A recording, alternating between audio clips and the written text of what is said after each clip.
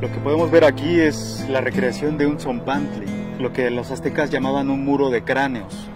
Era un muro que tenía como uh, finalidad mostrarle a sus adversarios el poderío militar del, del imperio mexica o azteca.